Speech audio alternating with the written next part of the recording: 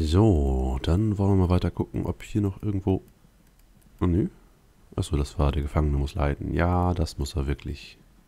Aber eigentlich wollten wir jetzt, nachdem wir schon so viele Würmer umgebracht haben, gucken, ob da rechts hier rum irgendwas aufgegangen ist, wo die Würmer hergekommen sind. Und... Nö, anscheinend nicht. Also sind sie doch einfach so gespawnt. Was ganz schön hinterhältig ist. Aber na gut. So, das heißt, wenn wir jetzt hier lang gehen, spawnen wahrscheinlich hinter uns auch wieder welche und wir könnten wieder jämmerlich hier in der Ecke wie vorletztes Mal sterben.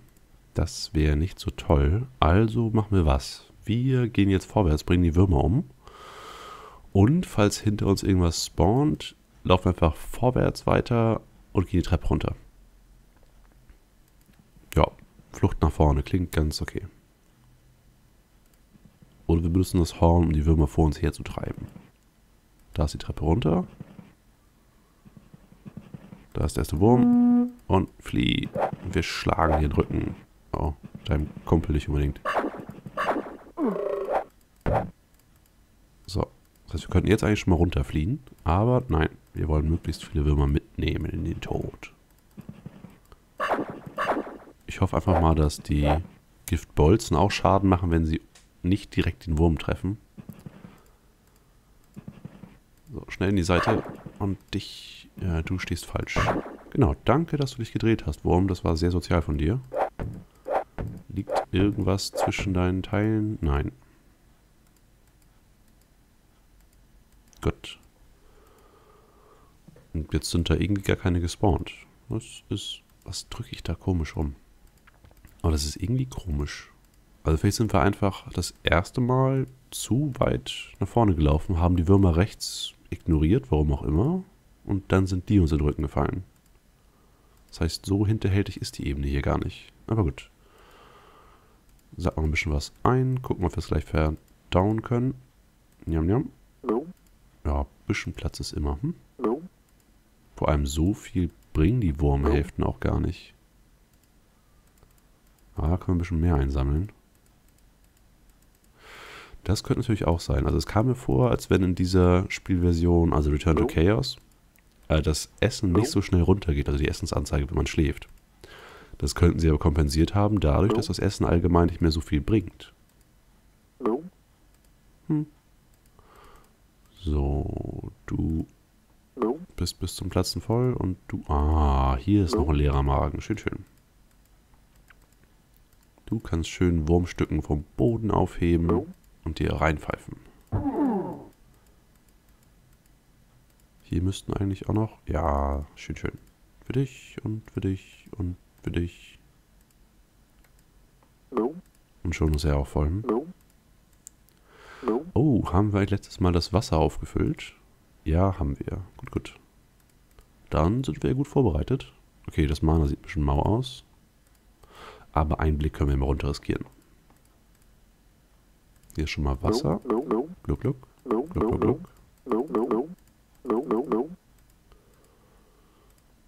Dumm, dumm, dumm. Ein langer Gang. Noch ein langer Gang.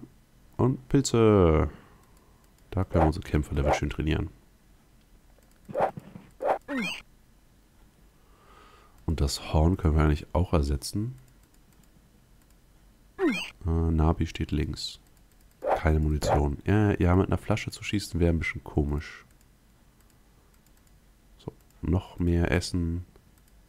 Und, äh, noch eine Treppe hoch.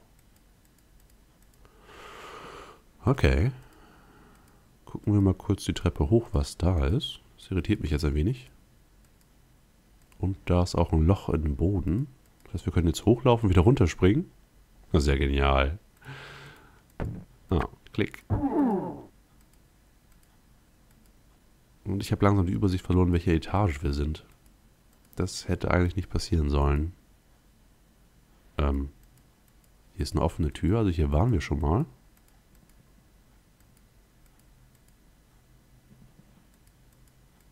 Das ist skurril.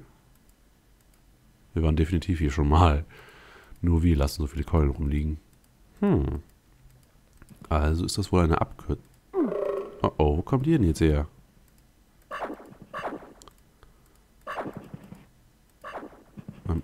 Z soll nicht schmeißen, Gosmog soll schmeißen. Und Navi steht auch links. So. Also da müsste jetzt eigentlich eben gerade die Wand sein, wo wir den Durchgang gefunden haben. Von unserem kleinen Weg nach oben zu diesem alten Gate, wo wir schon mal waren. Und, und, und Mana hat er noch. Auch noch.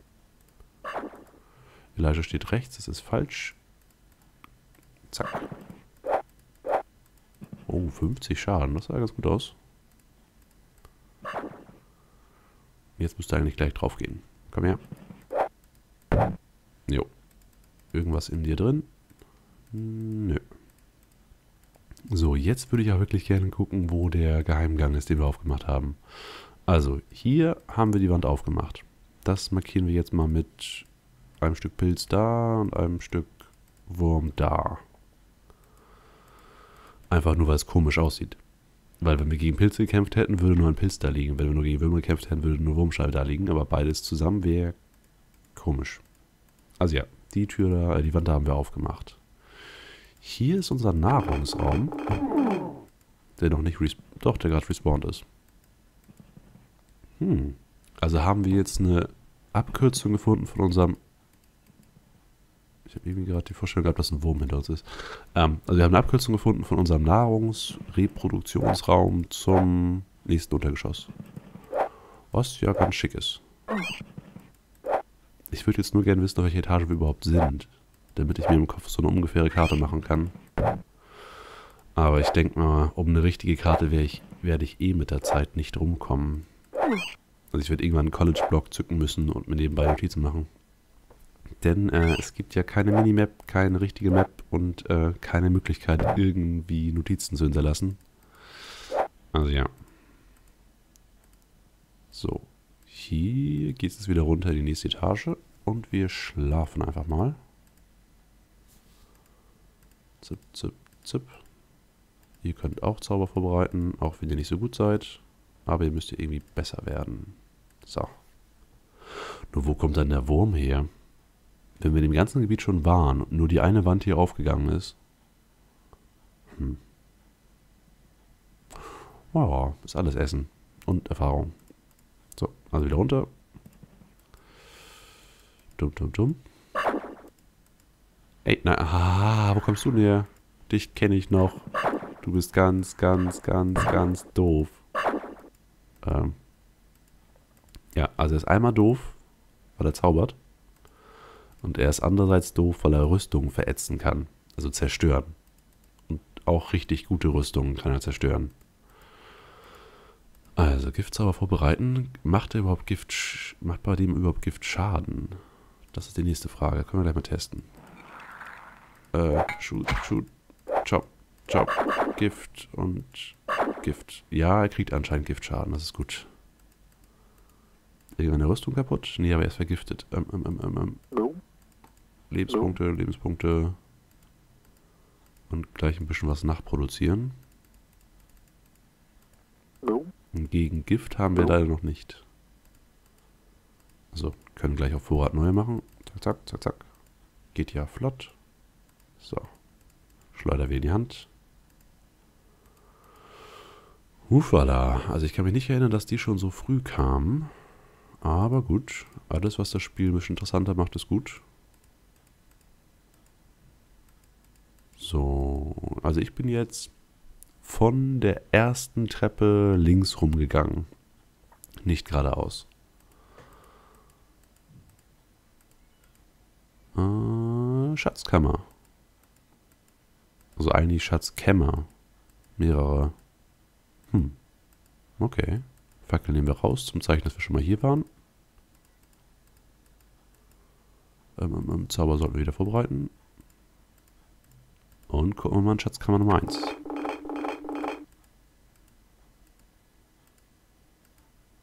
Das sieht mir nicht aus wie eine Schatzkammer. Äh, ja, Teleporterrätsel. Wer mag sie nicht? Äh, ich glaube, ich hole mir jetzt schon meinen College-Block.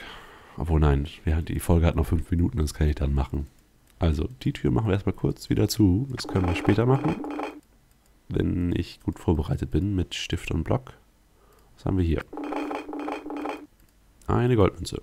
Goldmünze ist immer gut. Kriegst du. Licht könnten wir auch gebrauchen. Das kann mal Z machen. Suche ich dir ein bisschen Magier-Level. Ups, ups, ups. Ist es jetzt schon Maximum Helligkeit? Ich glaube schon. So, also eine Schatzkammer, in der wir eine Münze finden. Und eine Nische. Testen wir mal. Nö, macht nichts. Also bei der Nische rechts rum geht es wieder zurück. Und das ist hier viel zu verzweigt.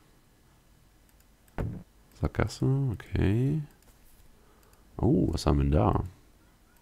Ein Juwel der Zeiten. Und es verändert anscheinend nichts an den Stats. Gucken wir mal ein wenig anders. Also 3 am Ende, 2 am Ende, Rest 9 am Ende sind seine Stats. 3 am Ende, 2 am Ende, Rest 9 am Ende. Also ist wirklich Stärke, Ausweichen, Weisheit, Vitalität und so weiter verändert er auch nicht. Hm. Na gut. Trägt jetzt mal unser ältestes Mitglied. Obwohl, wer von den beiden ist älter? Äh, der mit dem längeren Bart? Okay, also Nabi trägt jetzt unser Juwel der Zeiten. Ist bestimmt ein Questgegenstand. So, sonst ist hier... Ah. Sonst ist hier auch irgendwas. Wir wissen nur nicht was. Oh, hier ist noch eine Wand aufgegangen. Die haben wir, glaube ich, gerade gedrückt. Also wir haben den da gedrückt, dann ist die Wand hinter uns aufgegangen. Die hier. Dann haben wir den gedrückt. Und wo ist jetzt was aufgegangen? Ist hier noch irgendwo ein Kleiner Schalter? Nö. Hm, ich höre schon wieder so ein schleimiges Geräusch. Aber ist ein bisschen weiter weg. Ah, da ist was aufgegangen. Jetzt ist die Wand hier aufgegangen. Was ist das denn für ein komisches Rätsel? Okay, wir dürfen jetzt raten, wo eine Wand aufgegangen ist. Also, die hat die aufgemacht, die hat da hinten was aufgemacht. Das hier ist, glaube ich, jetzt neu. Legen wir mal ein Stück Pilz hin. Das war das letzte. Äh, den hatten wir schon, den hatten wir auch schon. Ist jetzt wieder was zugegangen? Ne, das waren die beiden ersten Knöpfe. Ah, das sieht so aus, als wenn wir das richtig gemacht hätten. Schön, schön. Also, Schaden weg. Boah, der hat richtig viel auf einmal bekommen. Äh, Z, trink Trank. Trink noch einen Trank. So, so, so. Genau. Komm noch mal raus. Dann bombardieren wir dich gleich und machen einen Schritt nach links. Und das gleiche machen wir nochmal. Zack, zack. Nicht den, den. Ah, Schitte. Oder er macht das Spiel mit uns. Gut. Er ist tot. Rüstung haben wir alle noch. Schöne Sache. Und dann schauen wir mal, was für ein Secret wir da freigelegt haben. Ich habe eine Waffe gesehen. Ein Dolch. Äh. Ähm. Okay. Kann der irgendwas Besonderes? Er kann geworfen werden, ge Step ist stechen und Slash ist seitlich schlagen, so. Also ja, es scheint ein stinknormaler Dolch zu sein. Das ist ein komisches Secret. Deswegen klopfe ich jetzt nochmal die Wände ab. Oh.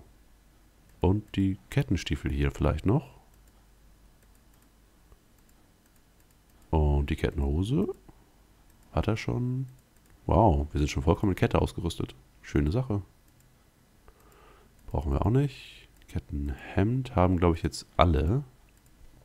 Ähm, wie machen wir es mit den Magiern? Wollen wir die auch in schwerer Rüstung ausrüsten? Weil dann kann irgendwann keiner mehr was tragen. Ja, komm. Und ein Helm. Der sieht besser aus als der da. Also, er sieht schützender aus als der da. Und wir sind eh alle überladen. Also, bald wir an eine Stelle kommen, wo wir öfters wieder hingehen werden, sollten wir da ein Lager aufschlagen und alles Unnötige abladen. Und auch eine Menge Essen. Also ein, zwei Kisten Essen da lassen. Weil wir sind jetzt durchgehend überladen. Deswegen konnte diese Aktion mit dem Hin- und Her-Strafen und dem Zauberwerfer auch nicht so gut klappen. Denn äh, das Monster war wahrscheinlich schneller als wir. So, die Schatzkammer hätten wir erledigt. Den Pilz können wir wieder mitnehmen.